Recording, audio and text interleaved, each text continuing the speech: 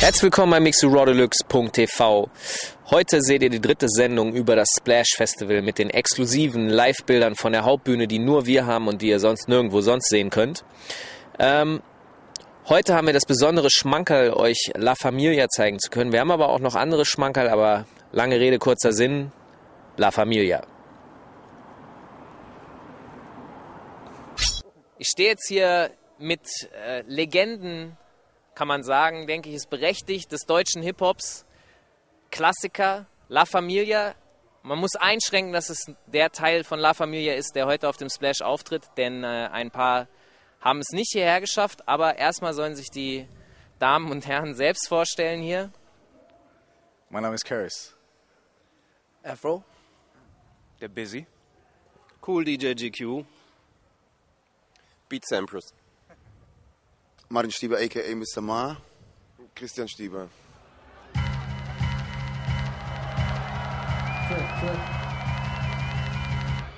Komm! Setz dein Geld auf die Jungs! Rapper machen Menschen so wie ein Hund. Niemand sonst vertrauen die Menschen so wie uns. Competition wird zerschnitten und zerfehlt. Unser Fitness wird trainiert. La Familia, friss oder stirb. Die Feinschmecker. Ein Take, ein Rapper. Ich brauch kein Lifebacker, mein Bester. Der Feind ganz kleinen Hexter. Hör! Yeah,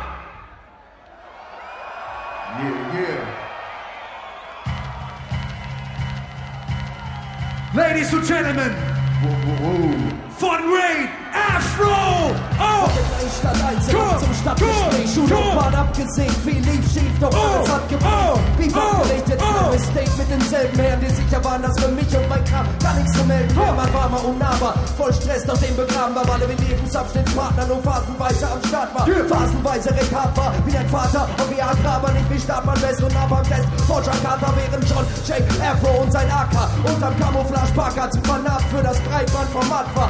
Tastenpederasten auf dem Zweigang, mein Heimat. Deswegen postet der AG zweimal an jeden Eingang. Der Kleinkram erledigt sich fast wie er von allein kam. Bringt lieber alle in Einklang, statt alles im Alleingang.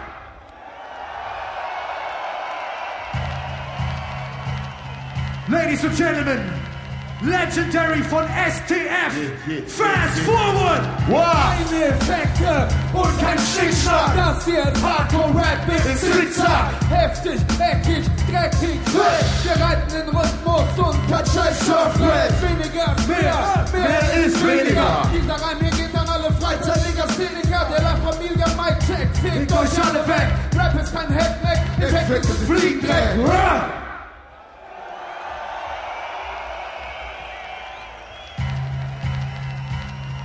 Ladies and Gentlemen, aus Heidelberg, Christian Stieber! Oh! Mamas Liebling, ja, ich bin der kleine Oh, Tower. oh, mein AK ist so voll wie oh. Manhattan zur Rush Hour. Key Groups mit Beats, mein Job ist Beatbauer. Hip-Hop-Style klauern, verpasse ich ne Golden Shower. Heute tragen die Gondel Trauer, ich hab mehr Ausdauer wie Pieces und Tanks der Berliner Mauer. Hip-Hop für mich, was für deine Eltern Flower Power. Keine Phase meines Lebens, die ich bedauer. Einmal Marco, zweimal Stieber, 1968 ihr, 1972 mein Kaliber. Und wenn ich keinen Plan hab, hetz ich nicht ab, verbreite ich keinen Kack, mach ich kein Rap, sondern schweig lieber.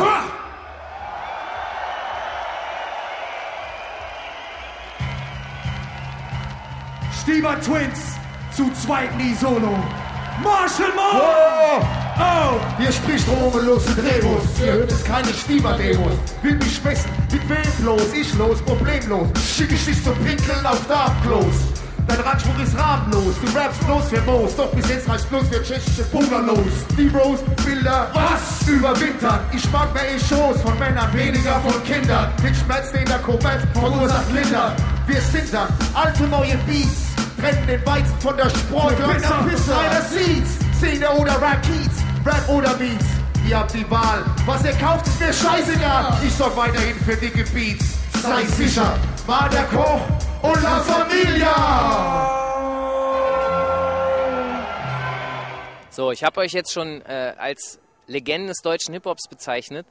Ich denke, dass es kaum einen gibt, der das in Frage stellt. Aber wie seht ihr das? Wie äh, findet ihr den Titel für euch gerechtfertigt oder ist es eher, würdet ihr es eher als anstrengend empfinden, in diese Kategorie gehoben zu werden? Nee, als anstrengend würde ich es eigentlich nicht bezeichnen. Es ist sicherlich eine Ehre irgendwie, wenn man als Legende bezeichnet wird. Aber im Grunde genommen, es gibt uns nach wie vor und es wird uns weitergeben. Und wir werden so lange weitermachen, wie es geht. Und so lange Legenden bleiben, wie es eben auch geht. Und ja. Tja. Was soll ich sagen? Es ist fast alles gesagt eigentlich, ja. Also ich meine, Legende ist halt irgendwie, ist halt schon ein schweres, äh, ne, ist halt so ein bisschen auf die Schultern drauf.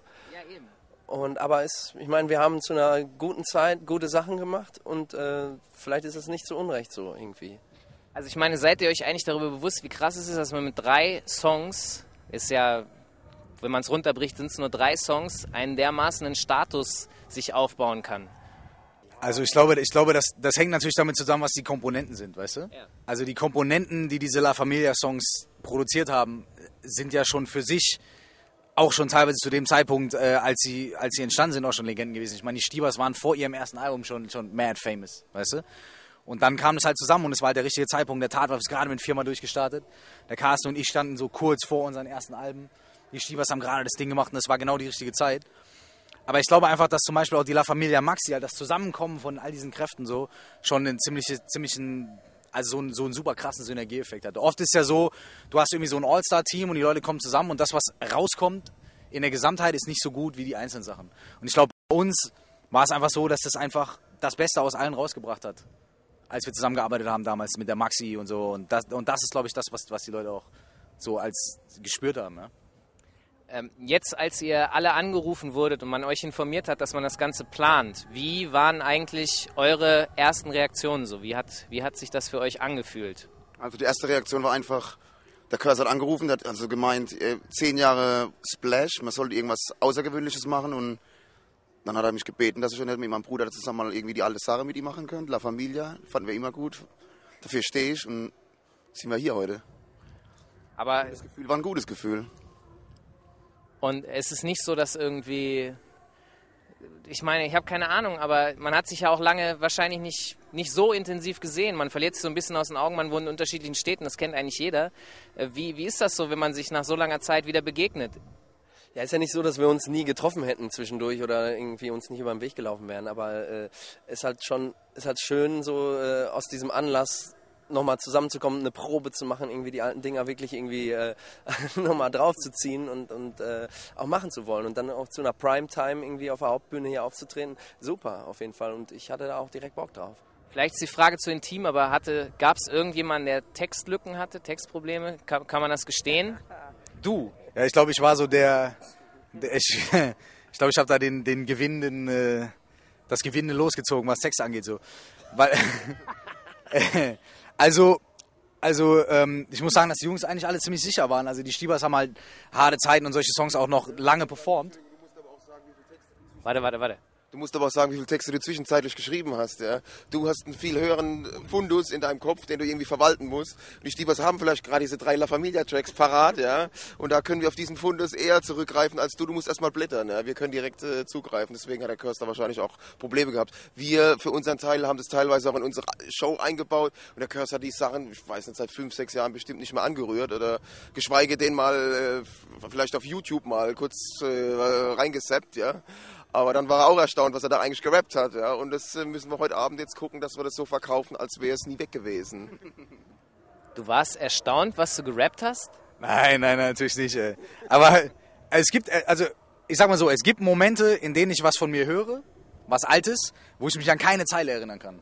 Ich weiß zum Beispiel von dem Song, den wir zusammen mit Tony L gemacht haben, nicht ein Satz, nichts. Also, äh, keine Ahnung. Äh, und teilweise hört man dann natürlich auch so Delivery-Sachen, wo ich mir da, boah, was habe ich denn da und so, weißt du? Aber alles in allem so, ich habe jetzt die Texte zwei, dreimal durchgegangen, ich habe sie mir auch nochmal geschrieben, angeguckt und jetzt sind die schon drin. Also ich werde heute Abend hoffentlich irgendwie keinen Hänger haben, das wird schon alles hinhauen. Nur das ist halt so, ich muss da erstmal wieder reinkommen, aber das klappt dann schon und das, das, das Langzeitgedächtnis hat es irgendwo abgespeichert, ganz hinten so. Also das klappt schon. Ihr seid hier, weil ihr Hip-Hop liebt und weil ihr Hip-Hop im Herz habt, Ladies and Gentlemen. Und die Leute, die heute hier auf der Bühne stehen, auch wenn ihr sie vielleicht nicht sofort erkennt, wenn ihr sagt, ah, warte mal. Das sind die Leute, die Hip-Hop in Deutschland erfunden und geprägt haben, Ladies and Gentlemen.